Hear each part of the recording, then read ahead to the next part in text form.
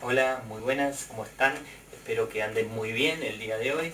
Eh, y bueno, el tema que hoy vamos a hablar, vamos a hablar de un experimento muy conocido, muy famoso, este, eh, que se hizo muy popular hace varios años ya. Eh, quizás lo han escuchado, aunque sea de, oído el nombre, este, es el experimento de Milgram. El experimento de Milgram es un experimento importantísimo en la psicología, sumamente importante, y es un experimento que llevó a cabo, se llevó a cabo en la década de los 60, bien, a mediados de los 60. Eh, es un experimento que lo realizó Stanley Milgram, que era un psicólogo de la Universidad de Yale en Estados Unidos. Y, a ver, este experimento es un experimento sobre obediencia. Es un experimento en el cual Milgram buscaba saber hasta cuánto una persona común y corriente estaba dispuesto a hacer por obediencia, ¿no? Un poco. ¿Por qué Milgram se le ocurre investigar esto? ¿De la nada? En realidad no. Lo importante de este experimento es ponerlo un poquito en contexto. Bien, hacía no mucho tiempo eh, había terminado la Segunda Guerra Mundial, se había terminado, eh, digamos, el nazismo, ¿no? En, Alemania y se había llevado por primera vez a juicio a, digamos, a personajes muy importantes dentro de lo que fue el nazismo. Por ejemplo, en, uno de los casos más conocidos es Eichmann, que se lo llevó a juicio, él, eh, que, se lo condenaba, se lo consideraba un sanguinario y, demás cosas, pero cuando se lo lleva a juicio, Eichmann dice, yo era un administrativo, yo cumplía con órdenes, por eso hice las cosas que hice. Eichmann era un administrativo dentro del régimen nazi, digamos, que firmaba, firmaba papeles determinados que hacían que, que salgan los trenes con, eh, cargados de judíos eh, hacia el destino que ya sabemos cuál era. Bueno, eh, una de las cosas que adjudicaba era esto, pero no es solo Eichmann. Muchísimos represores a lo largo de la historia han adjudicado que ellos recibían órdenes, ¿no? Este, que estaban cumpliendo con lo que tenían que cumplir. Bueno, entonces Stanley Milgram se empezó a preguntar, al igual que muchos psicólogos en esa época, trataban de, ver qué es lo que pasaba por la mente de una persona, si una persona común era capaz de llegar a eso. Y también por otra cuestión, otra pregunta, ¿cómo era posible que tanta gente haya adherido al régimen nazi y haya cometido tantas locuras como cometió? Este, siendo que era hasta un poco antes del régimen nazi, eran gente común y corriente, llamémosla. Entonces, bueno, un poco lo que quiere experimentar eh, Milgram es ver esto, ¿no? Si realmente es que Eichmann y todos estos eran monstruos, monstruos sádicos, por decirlo de alguna forma, o en realidad se trataba de personas comunes que llegaron a hacer eso. Y si cualquier persona común podría llegar a si la circunstancia lo, amerita, a llegar esos, a, esos extremos, ¿no? Bueno, entonces les comento cómo fue el experimento de Milgram directamente. Milgram lo que hizo fue lo siguiente, puso un aviso en el diario, ese aviso en el diario decía se busca persona para un experimento de memoria y aprendizaje, mentira, no era para eso, pero era, eh, digamos, la forma de convocar gente, si hubiera dicho para qué era, probablemente eh, hubiera sido muy ingenuo el experimento, si hubiera dicho que era un experimento de obediencia. O no hubiese eh, podido estudiarlo en un contexto casi natural, digamos. Es decir, observar el comportamiento real de la gente. Bueno, entonces pone el aviso este, que les comentaba recién, y les ofrece algo de 10, 20 dólares por participar en el experimento. Bien. Ok, entonces la gente, que principalmente es todos norteamericanos, pues esto se llevó a cabo creo que en Estados Unidos, eh, personas comunes y corrientes que aceptaban participar del experimento, se acercaron al lugar este donde era la cita, bien, que era un laboratorio, y cuando llegaron al laboratorio se encontraron con dos personas. Uno era el experimentador, de ahora en más vamos a llamar para organizarnos experimentador, bien, y otro era un actor que iba a de alumno, ¿bien? Era un actor que ya sabía todo, iba a simular, eh, a ser de alumno, iba a simular, ahora les cuento qué cosa iba a simular. Y el otro era el inocente que iba, que le iba a tocar el rol de maestro. Bien.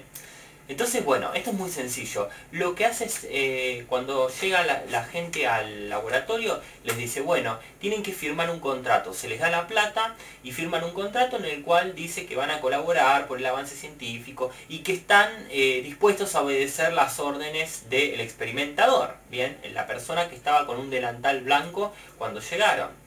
Ok, bueno, ahora, Después sacan un número para ver quién va a ser de maestro y de alumno, como un sorteo, que en realidad ya estaba arreglado. Entonces, siempre, siempre venga quien venga de los participantes que se acercaron, que deben creo que fueron algo de 40 personas, si mal no recuerdo, este, siempre el que la persona que, digamos, que se acercaba para colaborar iba a salir de maestro. Y el actor iba a ser siempre...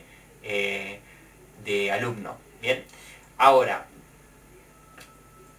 el que llegaba para colaborar no sabía que era un actor, se le creía que era otro participante más que había llegado voluntariamente. Bien, bueno, la cosa es que se separaban los roles que cada uno iba a cumplir y uno iba del otro lado de una habitación separada por un vidrio.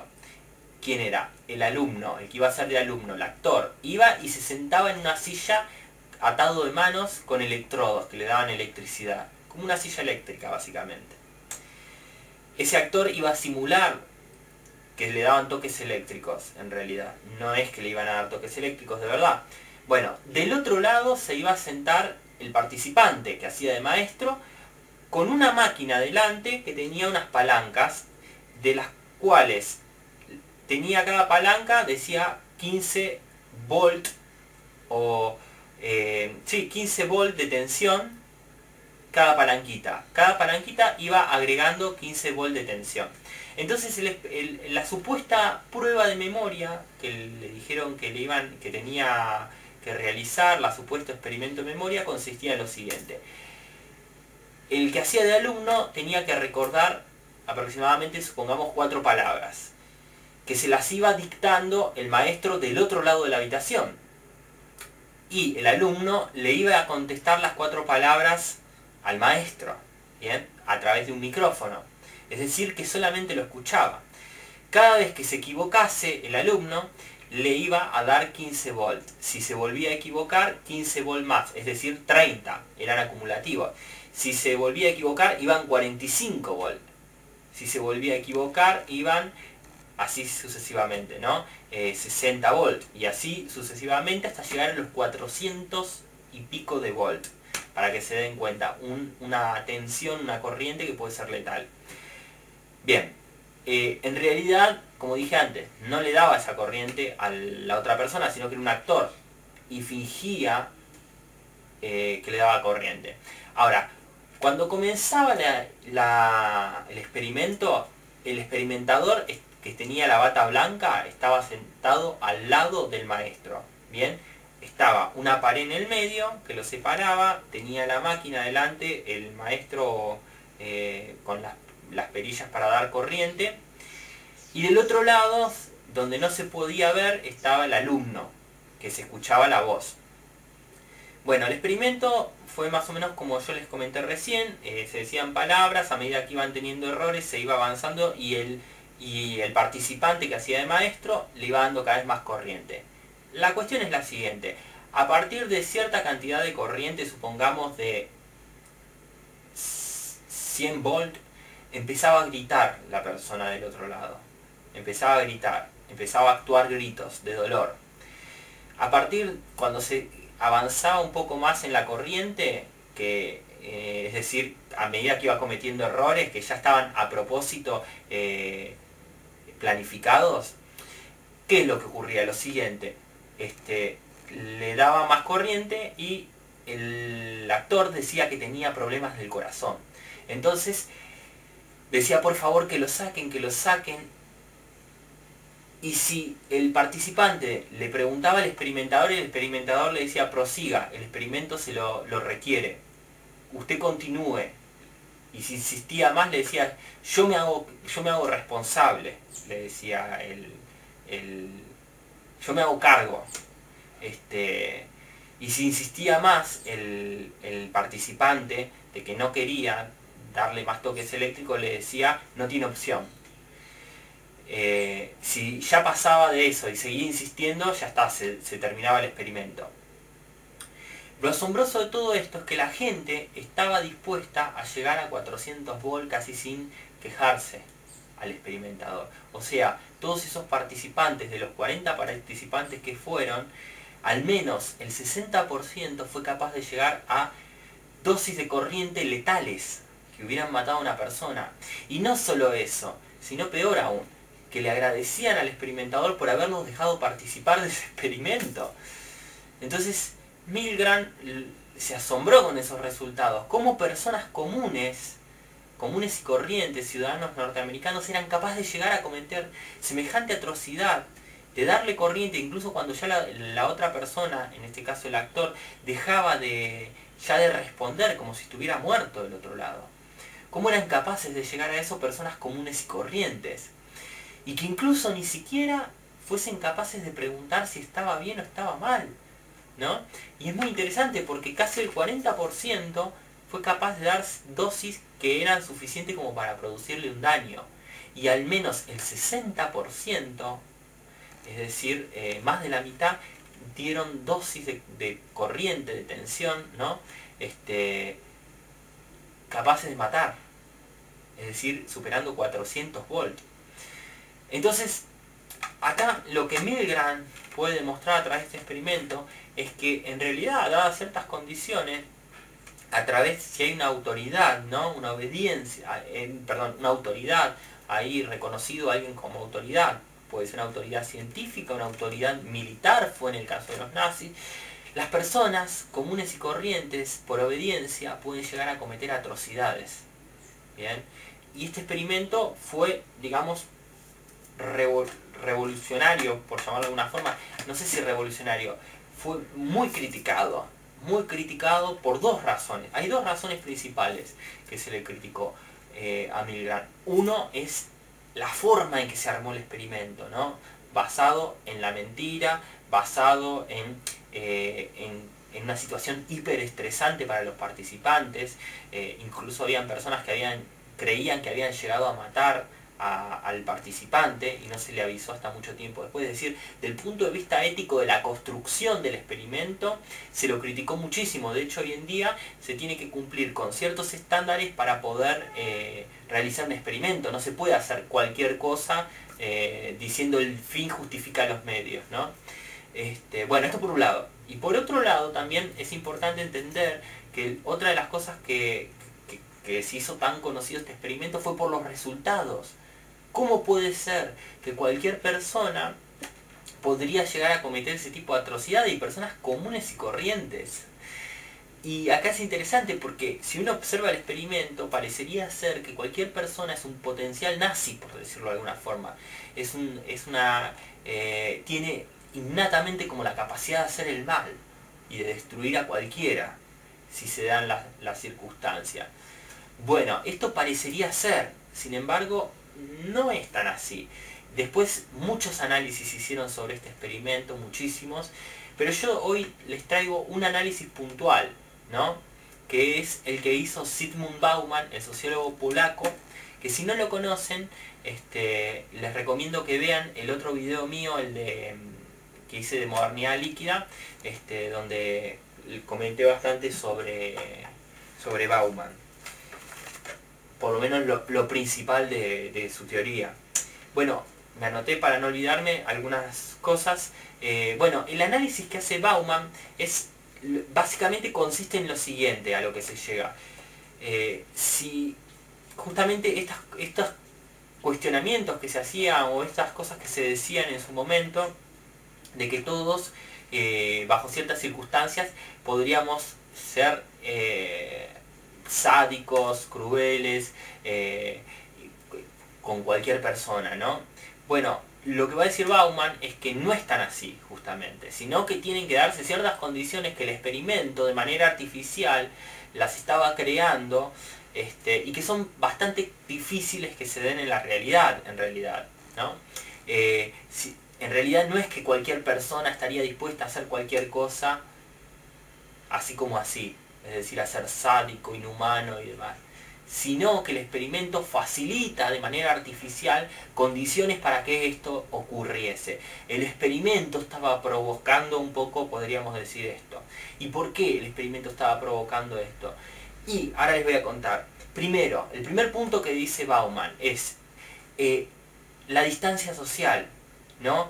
Bauman va a plantear que cuanto más distancia tenemos respecto del otro, al cual va a ser víctima de nuestro sadismo, de nuestra brutalidad, más fácil es ejercer esa brutalidad. Más fácil es ser crueles con esa persona cuanto más lejos la tenemos. ¿no? Y por eso este, es que el experimento no, no, el, el maestro no podía ver al alumno directamente. Bien, que estaban separados por una cortina, un vidrio y una cortina, ¿no? Entonces, eh, en ese sentido es que facilitaba la crueldad, ¿no? Que se pueda hacer cruel es mucho más fácil cuando no lo vemos, por eso los militares tiran un misil y listo, porque están de lejos, ¿no? Este, incluso si pensamos cuando se fusila, lo primero que toman es distancia respecto del fusilado. Hasta los verdugos llevaban simbólicamente una capa en la cara, como una forma de tomar distancia. Es decir, cuanto más lejos estamos, es más fácil ser crueles, porque no vemos los resultados tan directos y tan no vemos el sufrimiento del otro tan cerca como para poder tener empatía con esa persona.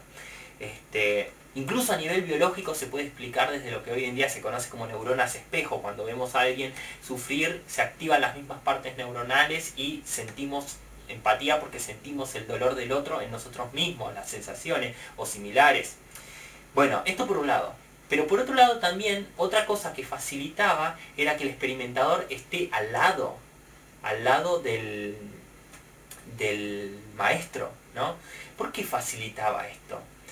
Y es muy interesante porque formaba una eh, suerte de espíritu de equipo, conformaban un equipo al tenerlo al lado. El experimentador estaba al lado y ambos estaban haciendo la tarea que tenían que hacer en nombre de la ciencia para el progreso científico, entre comillas, ¿no?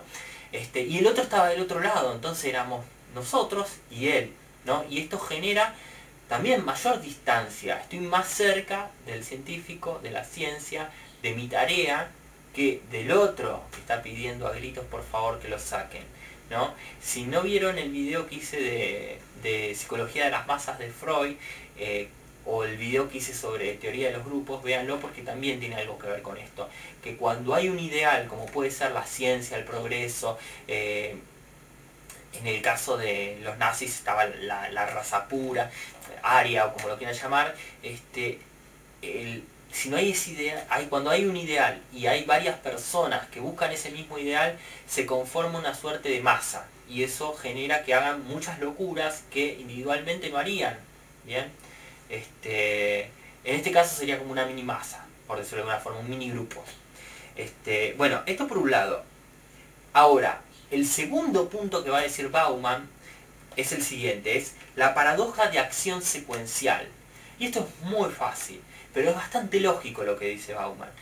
Eh, el hecho de que de alguna forma la, cuando se le daba corriente eléctrica no se le diera al participante, al perdón, al alumno, toda la corriente eléctrica directamente, sino de a 15 volt, que eran dosis muy bajas, generaba, facilitaba a que continúen dando corriente. ¿Por qué? Yo les explico por qué. Primero, cuando comenzaban, comenzaban directamente con 45 volts, que ya era bastante alto. Pero lo interesante del caso es esto, que después de los 45 volts, al siguiente error le daban 15 más, entonces estábamos en 60. Ahora, la distancia entre 45 y 60 es muy pequeña. Entonces, el que le dio 45 dice, bueno, le doy 60, total es poquito lo que le estoy agregando.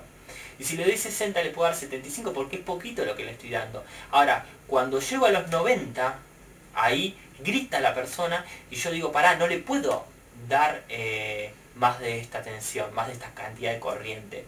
Sin embargo, es tan pequeña la distancia respecto de la anterior que cuestionarme darle 105 volt implicaría también cómo fui capaz de darle 90, que está casi al lado. ¿no? si me cuestiono que no le puedo dar 105 volt porque es mucha corriente, también tendría que cuestionarme los 90 que está casi al lado. ¿Cómo fui capaz de darle 90 entonces? ¿no? Entonces las personas, como esto facilita entrar en una contradicción moral. No puedo darle tanto, por lo tanto, ¿cómo fui capaz de darle lo otro, la otra cantidad de tensión? Entonces directamente lo que hacen es siguen avanzando para no cuestionarse la tensión anterior. O sea, dicho más fácil, si yo le doy 60, ¿no? Y paso a 75, ¿bien? Y de los 75 paso a los 90, pero en los 75 empieza a los gritos, y yo tengo que pasar a los 90, tengo dos opciones. Una es decir, no, con 90 soy, soy un animal si le doy 90, ¿no? Ahora, si yo me cuestiono 90, ¿por qué no me cuestionaría 75 que están tan cerca? Que ya se los di. ¿No? Entonces entra en una contradicción moral, entra en un problema. Entonces, ¿qué hace la persona? Avanza a los 90. Y si le dio 90, le puede dar 15 más, porque encima están tan cerca, otra vez, que si le diste 90, puedes avanzar a 105. Y así sucesivamente. Entonces, el hecho de que las distancias entre las cantidades, las magnitudes de corriente sean tan pequeñas, facilitan a darle un poquito más, un poquito más, total es un poquito más, es un poquito más. Cuando se quiere dar cuenta la persona le está dando una barbaridad de tensión, pero cuestionarse esa barbaridad y querer volver a, tendría, implica cuestionarse también lo que ya le dio, ¿no? ¿Por qué? Porque está muy cercano solamente a 15 volt de diferencia. Entonces esto facilita que se avance. Cuando el sadismo está tan separado de a, poquito, a poquito, de a poquito, a poquito, la persona no se da cuenta, porque es gradual, ¿no? Porque es gradual. Es lo mismo que pasa, incluso si uno lo piensa, yendo otro plano, las instituciones, cuando las personas día a día se empiezan a tratar un poquito peor, un poquito peor, un poquito peor, hasta que llegan a tratarse malísimamente mal. Y alguien que viene de afuera dice, está loca esta gente, ¿cómo se puede tratar de esta forma? ¿Cómo pueden tener estos tratos entre sí? ¿Cómo pueden llevarse de esa forma? Insultarse, gritarse. Bueno, son años de gradualidades de malos tratos. Y al ser progresivo, facilita esto. Este, esto pasa incluso en las instituciones carcelarias, por ejemplo. Eh, hay un, experimento, bueno, ahora lo voy a nombrar, es el de, el, de la aprehensión de Stanford, de Sim Barton, un psicólogo social muy conocido, este, sumamente recomendable eh, de leerlo, eh, que también, ¿no? Que, muestra un poco todo esto dentro de las prisiones. Eh, bueno, a ver, el tercer punto que dice Bauman es el siguiente, es la moralización de la tecnología. Esto es una pavada.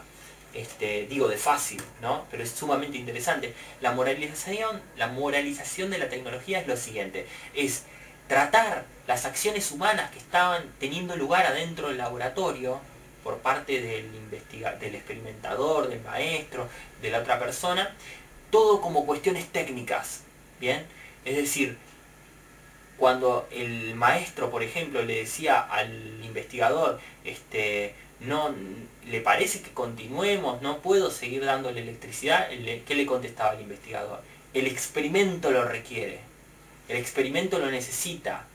Este, ¿Qué más le contestaba? Me lo anoté para no olvidarme. Eh, es el interés del experimento, ¿no? O es por el progreso. Y acá parece como que eh, lo que dice Bauman, ¿no? La moralización de la, de la tecnología. O sea, como que las acciones humanas no es una acción humana en sí misma, es para el experimento, es del interés del experimento, es para el progreso.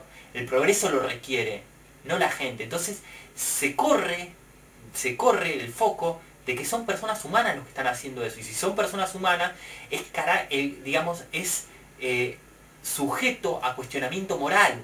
Ahora, si son cuestiones técnicas, no le cabe la cuestión moral, aparece desdibujada la ciencia lo requiere, el progreso lo requiere. No es usted le está dando una corriente eléctrica a, esa persona, porque si le dijera eso no lo haría.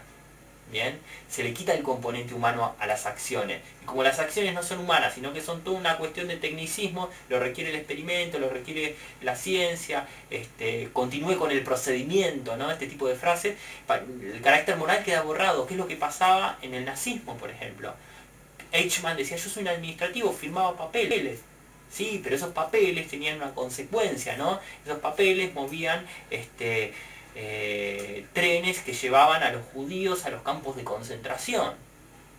¿Se entiende? O sea, primero había una decisión de los, de los generales máximos, después estaba la decisión de los administrativos, después estaba la decisión de los, de los, de los que estaban en los campos de concentración de los militares propiamente dicho, después estaba la decisión de los que prendían los hornos, después estaba la decisión de los que, los que mataban de hambre a los judíos. Entonces, es toda una cadena de decisiones, ¿no? Que aparece como técnica, ¿no? Como técnica para desconectarla de lo que se está haciendo. O sea, a la otra persona no la veo. Y encima lo que yo estoy haciendo es solamente aplicar mi procedimiento, mover las palanquitas. El procedimiento científico.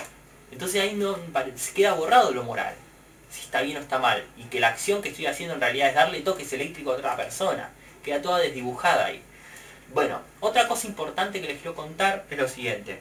Este, no sé si lo dice Bauman, a ver si lo dice, no lo agrego ahora, pero... Eh, sí, lo puedo contar después. Miren, es esto, la responsabilidad flotante. La responsabilidad flotante es que en el que en el consentimiento que le daba cuando empezaba el experimento, le decía, bueno, usted puede, usted tiene que, eh, como que cedía los derechos a recibir órdenes, eh, otorgaba el derecho a recibir órdenes de experimentador, ¿no? De esa autoridad. Bien, y parecería ser, dice Bauman, que ceder o acceder a recibir órdenes de una autoridad implicaría desresponsabilizarse de las acciones, ¿no? Este, ahí no se habla de responsabilidad, que es lo mismo que pasa con los militares, por ejemplo. ¿no? Eh, yo respondía a órdenes, decía Eichmann, respondía a órdenes, pero la acción de ejecutarla las ejecutaba él, y la responsabilidad le cabe a él. ¿no? Entonces parecería ser que al acceder a recibir órdenes también se accede a delegar la responsabilidad, pero la responsabilidad no es delegada, porque la responsabilidad siempre recae en el que realiza la acción, es el responsable directo. Y esto pasa también mucho, como les contaba recién, en los militares. Los militares dicen, yo recibía órdenes, cumplí con lo que tenía que hacer, ¿no? Lo, que tenía que hacer. No, en realidad lo que tenía que hacer tenía la opción de no hacerlo si quería. Si no lo hubiese hecho él, eh, Eichmann no hubiese firmado los papeles que firmaba, no hubiesen salido los trenes que mataban gente. Este, entonces, lo que ellos plantean es que se desligan de la responsabilidad cuando, cuando acceden a recibir las órdenes. Bueno, y también acá yo quiero rescatar algo, ¿no? Importante, que siempre, siempre, siempre, siempre, cuando es esto que decíamos de la gradualidad, ¿no? Este, de los tecnicismos, de volver todo como cuestiones técnicas, eh, metodológicas, eh, las acciones bestiales, ¿no? descomponerlas, son necesarias cuando se, llevan a cabo este tipo de cosas como pasó en el nazismo. ¿Por qué? Porque se descompone la cadena de órdenes para llevar a cabo, para que todos puedan poner su granito de arena sin que les haga ruido la moral, la conciencia, ¿no? Este, ¿Por qué? Y simple, porque por ejemplo en el nazismo eh, Hitler mandaba matar a los judíos, ¿no? Este, los, ¿cómo se llama? Los administrativos como Eichmann mandaban a hacer los, eh, a, trasladarlos. Después estaban los que eh, mantenían los campos de concentración y los controlaban. Después estaban los que prendían la cámara de gas o los que no les daban de comer. O sea, se entiende, está todo delegado, descompuesto en toda una cadena para que haga más fácil las acciones. Como cada uno se encarga de su pequeña acción, parece que no, no hay una visión del conjunto, ¿no? Y hay un libro muy lindo de Hannah Arendt, creo que era, que se llama La banalidad del mal, me parece, si mal no recuerdo, que habla de esto, que es necesario cada engranaje para que funcione esta maquinaria, pero tiene que ser en engranaje. Porque si vos le decís a una persona que se haga cargo de todo eso, o, o salen todos los militares a disparar directamente a la calle, sería mucho más difícil que eso ocurra. Porque corre todo el peso de la acción en las personas que lo están ejecutando. Cuando se lo descompone en partes, cada uno es un pequeño eslabón. Sin embargo, cada eslabón es necesario porque solamente una cadena funciona cuando todos los eslabones están funcionando. Si se corta un eslabón, la cadena deja de funcionar. Es así de fácil.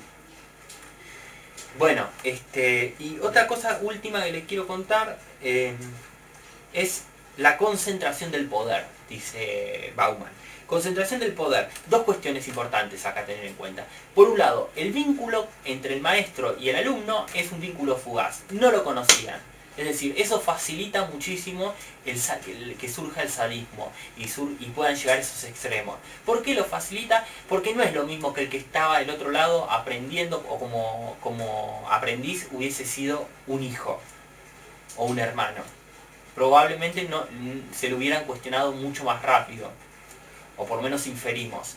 Entonces el hecho de que no lo conocieran y lo hayan visto dos minutos ahí en el, en el laboratorio, dos segundos en el laboratorio para el sorteo, hacía más fácil, porque no sabes quién es. ¿Bien? Son X. Por eso en el nazismo una de las cosas que se hacía es se le quitaba, se, le, se le quitaba todas las cosas que puedan reconocerlo como persona, hasta los nombres. No, no quieren saber los nombres, son NN. En Argentina pasó los desaparecidos hubieron desaparecidos en Argentina en la década de los 70 y eran NN. ¿Por qué? Porque hay que quitarle el nombre, hay que despersonalizarlo. En los judíos era un código de barra, no eran personas, eran un código, no tenían nombre. Este, entonces, la, no la distancia social, el vínculo fugaz, cuanto más rápido, menos lo conozca, más favorece todo esto. Y por otro lado dice que había un único superior que actuaba firme en una situación que era, digamos, eh, caótica para el, maestro ahí. Entonces, eh, había una sola autoridad y ¿qué pasaba? El, maestro, eh, no el maestro, el experimentador actuaba firme ahí, ¿no? Este, es decir, cuando el, maestro decía, ¿qué hago? No sé, lo puedo matar, empezaba a entrar como en caos, ahí que se desestructuraba su psiquismo, por decirlo de una forma, este, el experimentador que le decía, continúe, bien firme. O sea, la autoridad le decía que continúe ahí. Entonces ahí la persona como estaba media en, una situación caótica y bueno, continúa. Pero fue muy distinto el experimento cuando lo realizaron con dos experimentadores con bata blanca. Hicieron el mismo experimento con dos experimentadores con bata blanca y los dos entraban en conflicto cuando el, cuando el maestro le decía, ¿qué hago? No puedo seguir, es mucha corriente, entraban en conflicto. Uno le decía, no continúe, y el otro le decía, continúe, y empezaban a discutir entre ellos. Cuando pasó esto, fue el porcentaje, casi el 100% dijo que no. Es decir, siguió, le hizo caso al experimentador que le decía que no continúe. Entonces no es que las personas son tan inmorales y tan sádicas. Pueden llegar a hacerlo bajo ciertas circunstancias y cuando y cuando el, tienen dos opciones, al menos dos autoridades posibles para, eh, para seguir. Bien, este, bueno, y para concluir quiero dejarles una conclusión, una reflexión de todo esto. Es el experimento de Milgram de alguna manera muestra muchas cosas interesantes, pero acá hay que destacar algo, lo que el hombre está dispuesto a llegar cuando no tiene otra opción de autoridad, ¿no? Esto último que decíamos, cuando, digamos, el que ahí lidera la situación, la autoridad, este, ese, eh, digamos, ese, sí, autoridad llamémoslo, cuando es, hay una única autoridad, la persona no tiene para elegir. Cuando hay dos, ahí las personas pueden elegir y por lo general no son tan sádicas como creemos en el nazismo se dio una suerte de coyuntura, ¿no? como esto que recreó eh, Milgram de manera similar. Sin embargo, las democracias, esto es importante, a diferencia de las tiranías este, y, los, dictadores, eh, en las democracias tenemos la posibilidad de elegir ¿no? entre distintos líderes. Y acá voy a un autor que es Norberto Bobbio, Norberto Bobbio, un politólogo italiano, que decía, la democracia no, es el mejor, no garantiza el mejor de los gobiernos posibles, sino que garantiza que el peor de los gobiernos no se perpetúe, que es diferente. ¿no? Esa es la gran virtud de la democracia, o sea, la virtud de poder elegir entre al menos dos, que el poder no esté concentrado en un tirano. ¿Para qué? Para que no pasen experiencias como la de Milgram. ¿Cuál era el tirano en la experiencia de Milgram, en el experimento? Era el, experimentador ahí. ¿no? Esa autoridad eh, reconocida. Perdón, se cortó la grabación. Este, bueno, como les comentaba, entonces acá lo que, lo que se destaca es la importancia, o lo que podemos sacar como reflexión es la importancia de que hayan varios líderes políticos en general, varias autoridades, y lo único que garantiza este, que justamente no se concentra el poder en un único punto, que también tenemos la experiencia de Cuba, ¿no? con el comunismo, cuando es el Estado, tenemos la experiencia del nazismo, cuando está concentrado en, un dictador, eh, Mussolini en Italia, ¿no? este, eh, cuando está concentrado en un único punto el poder, se tiende a que ocurra, o tiende a que ocurra lo mismo que ocurrió en la experiencia de Milgram. Eh, si ese que está en el poder eh, promueve conductas eh, de sadismo, de violencia, de sida, las personas por obediencia van a reproducirlas. Pero por obediencia, siempre y cuando no tengan una, una alternativa. Bien, cuando las personas tienen una alternativa, como ocurre en las democracias, esto no ocurre no ocurre porque las personas tienen una escapatoria, una elección, ¿no? Entonces ahí se juega su juicio ético como sujetos, ¿bien?